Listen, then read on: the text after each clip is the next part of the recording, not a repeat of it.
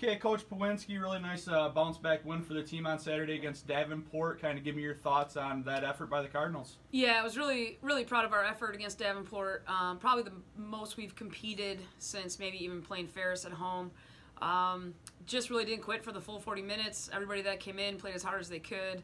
I thought we were able to get out and transition because our defensive effort was so great.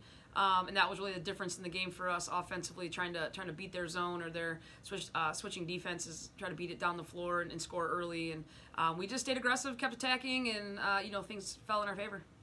All right, and with the team this young, how how have you seen the team progress along the year and kind of Yeah. what makes it difficult you know even though you go through some rough times to keep them up and you know keep them on that upward path Yeah, sure. I think ultimately with the with the freshmen, it's such a long season. They're, they're they're starting to feel like we should be winding down, and we're really just in the middle of the season. So it's about having to regroup mentally and, and stay tough and and know that uh, the workouts are for a greater purpose. That while we might not see the results tomorrow of what we did today, we will see them either next week or the week after. And it, it, you know, you just got to keep compiling the effort and and putting the work in, and eventually that it'll all take care of itself. But I think as a team, defensively, we've been pretty solid. You know, I think we're fourth or fifth in the GLIAC, somewhere around there, and in points given up, and, and been able to compete defensively. Um, we've struggled the most offensively, and I think that's um, you know part of our young kids trying to face different defenses and switching defenses and the pace they got to play at um, on the offensive end. You got to shoot a little quicker, and you got to get your feet set, and it's just taken us some time to adjust in that area. And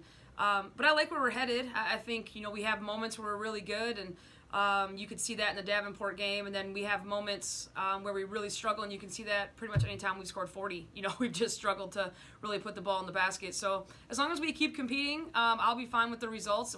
You know, we're not going to get any results we want if we don't compete first, and, and that's what we've been harping them on. Stay consistent with the effort, and uh, the results will handle themselves.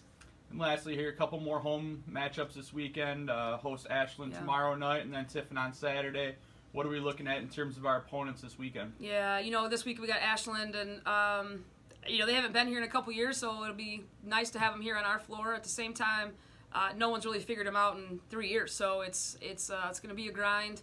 Um, they kind of hit you in the in the face real quick with their press, and then if but you know if you're not done uh, getting off the mat, and it's you could be down 30 pretty quick, so you really have to to bounce back fast. You can't be worried about a score or you know turning it over or anything. You have to you have to be ready to go and. Um, their energy, the, the how hard they play, really wears you down because they're they're deep and they're consistent with it. So um, it's the challenge of all challenges. You got the, the top team in the country coming in who hasn't been beaten our conference in maybe three years. I don't even know, maybe more. Um, and so you just you just have to give your best effort and compete and try to find some areas you, you can be strong in and, and maybe take advantage of something while you're out there. And then uh, you know then we turn around and play Tiffin on Saturday and.